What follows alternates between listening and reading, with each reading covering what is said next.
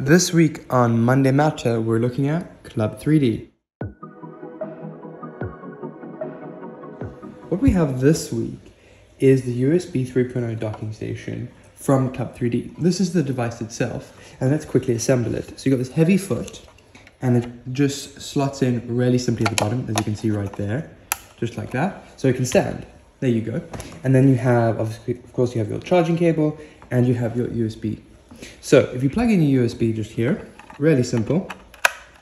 Then with one USB port and you power the device, you have the ability for everything that you see on the docking station itself. So everything from HDMI, DVI, you got your RJ45, you got four USBs, and around the back you've got a fast USB, and microphone and headphones. So instead of having all these ports on your uh, device. If you have a very clean setup, you can imagine this goes up right at the back, you don't even see it. All you see is the cable, and this, again, right at the back, you don't even see that.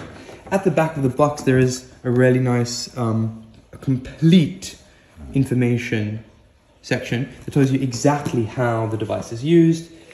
But very quickly here, you can imagine you have the device, you have your notebook, and then you have your monitors. So instead of having all the messy cables, this goes right to the back, completely out of frame and you don't have to worry about it. Come sort of day and check it out. It really is an amazing device. You can see how slim and neat it is. See you next week.